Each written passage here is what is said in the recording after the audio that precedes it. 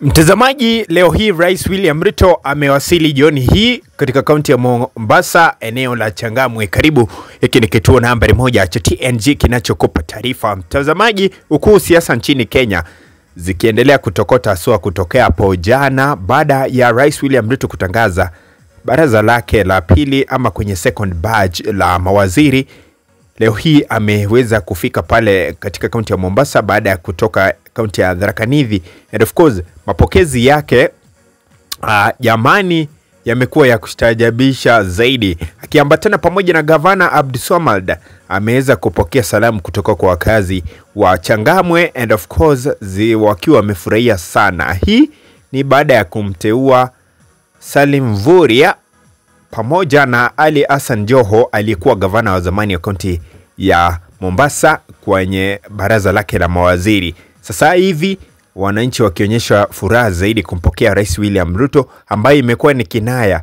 ya siku tatu tu ambazo zimepita ama hata takriban siku moja kabla ya jana saa nane kwa yeye kuzungumza.